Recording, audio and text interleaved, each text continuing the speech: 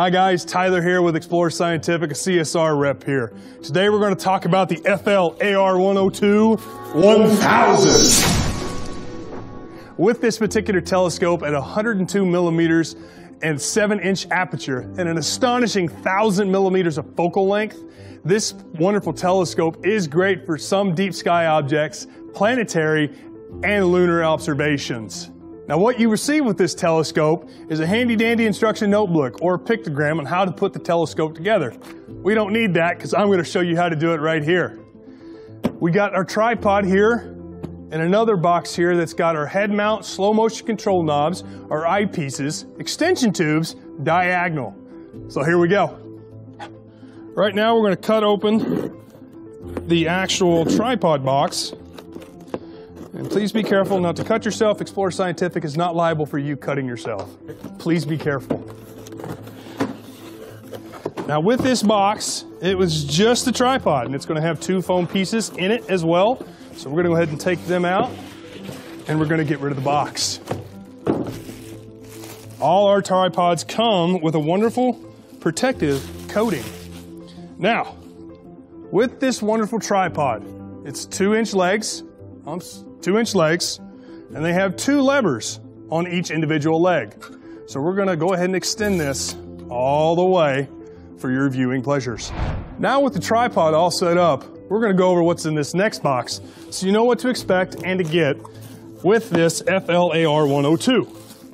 And some, some accessories, extension tubes, which we'll go over those here in a little bit, accessory tray, slow motion control knobs, your diagonal T-bar and your wonderful head mount. So, first and foremost, we're going to get our T-bar out. Mm, mercy. T-bar's out. To get her head mount out. Once I find the spot to Mm, there it is. And there it is. Now it does come with tension collars. Please don't lose these. These are very, very important pieces of your mount. We'll have an Allen as well. And here's the handy dandy mount for Alt and AS. That in that box. Accessory tray to keep all your wonderful accessories off the ground and close for your night observing. Now it will come standard with a two inch hole and an inch, two inch and a quarter holes as well. Let's get going here and put this tripod together. So I got my accessory tray, T-bar handle. I'm gonna go ahead and just feed it through here. We'll feed it through this observing hole here as well. And you also will get a washer, very small, please don't lose it. And that will go set here and a little E-clip. That keeps just the T-bar in place so it doesn't go anywhere. Please don't lose that.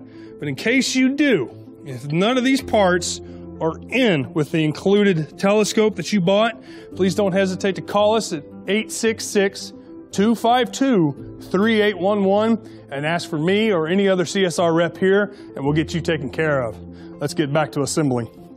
So now, I always point the little T mount or little thing here, I'm not sure the technical term for it, um, I always point this due north. It helps me to better use the telescope mount and telescope actual alt-az mount. So I always point it north just to get in that actual habit and this particular mount itself has a groove for the T shape, so there's only one orientation to put it. So we're gonna go ahead and just do that right now. And there we go. And we're gonna go ahead and start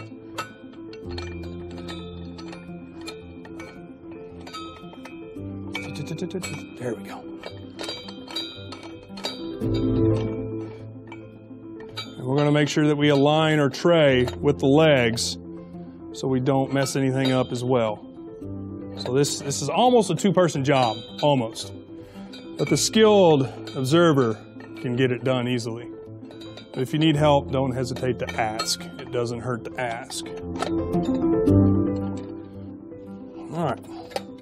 So now we got a good secure on that, but hey, my tray's still loose. Why is it still loose? Well, you have this wonderful little washer here that you can extend it all the way up to keep putting outward pressure towards the legs to give you a more stable mount. Good deal. Now we got a stable tripod. Now we got our tripod and head mount assembled. Let's go ahead and keep going. We got our slow motion control knobs. Now I've orientated this and it doesn't matter which way or however you want the short one at the bottom, the long one at the bottom. It doesn't matter. There's no incorrect way of doing it. I'm just going to do it what's best for the for you guys right now. And there's only one way to put them on. There is a flat spot on these particular little brass gears here, and that's the only orientation that it can fit. And if you can see that little dimple there and a little flat spot, that's where this little screw will fit on said dimple. So you can get perfect actual contact so you can move the, the actual mount left, right, and up or down. So now, remember I talked about these little clutch knobs that you can't lose, and if you do lose, please call us and we'll get you taken care of. These are actually clutches for the Alt-Az. And they just simply thread one up top here and one right down here as well. All they're for is just for locking down and messing with the tightness on the Alt-Az. So the tighter they get, the harder it is to move.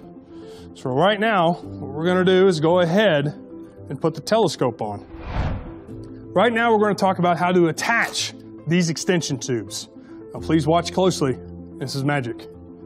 So we're gonna draw out the extension tube just a little bit. We're gonna release our inch and a quarter adapter. That goes into our diagonal. Ooh ah, magic. Now, this compression ring unscrews. And be careful, because it will fly off there and it will hurt you. Just kidding.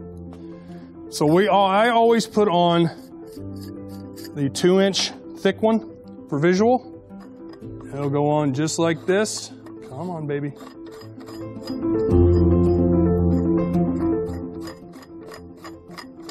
It's a long-winded one. And we'll put our compression ring back on. And now, take off our eye cap. I'm gonna tighten down the inch and a quarter adapter so we don't lose it. Throw in our diagonal. There it goes. Guess what, folks?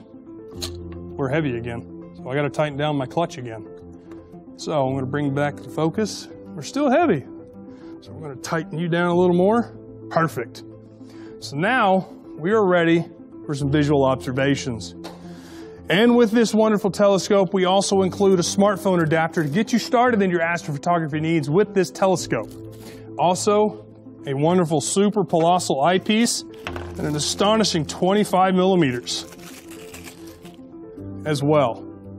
But it's again, it's also recommended to purchase or pick up more multiple eyepieces from here at Explorer Scientific. I always recommend the 52 degree series because they're great and they'll get you started in whatever you're wanting to look at. Again, my name is Tyler with Explore Scientific, and here's looking at you. Hope you have clear skies. Keep looking up.